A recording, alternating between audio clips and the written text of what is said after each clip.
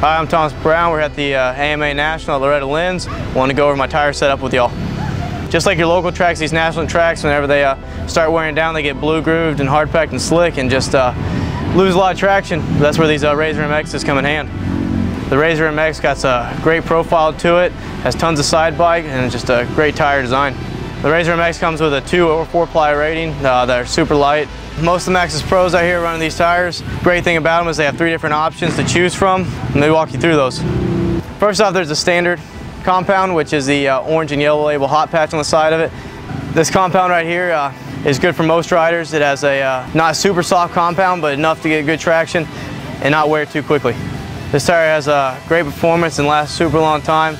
It's uh, great for every weekend warrior and local rider.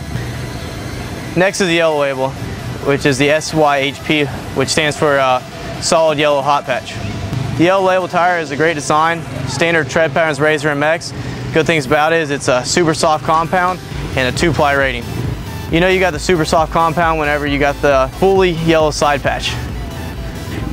The last option you got is the orange label, which is a 397 tire. This is my tire that I choose most weekends to race on.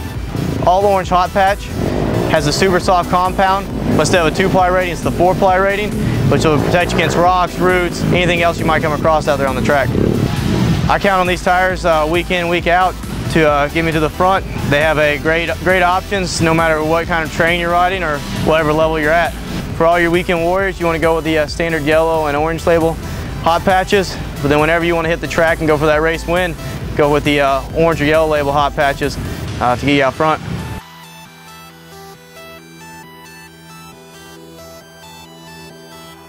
Find a local dealer or go online. You can't go wrong with the uh, Maxxis Razr MX. Great tire.